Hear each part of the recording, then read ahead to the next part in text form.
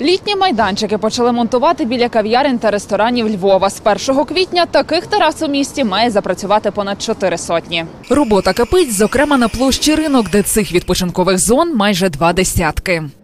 З чого починали процес? З підлоги. Що саме зробили? Обрізали, вкорочували і скручували докупи.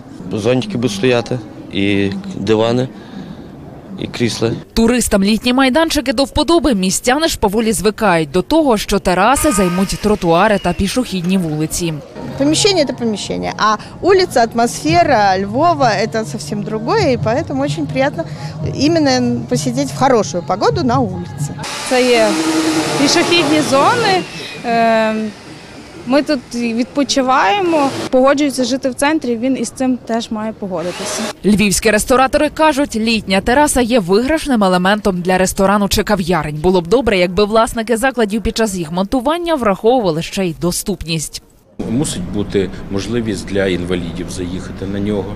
Ну це іноді це неможливо зробити. От, наприклад, на другий поверх, напевно, іноді неможливо. Але якщо є така можливість, це треба робити. Цьогоріч міська рада видала 124 дозволи на встановлення літніх майданчиків. Це на сотню менше ніж в аналогічний період минулого року.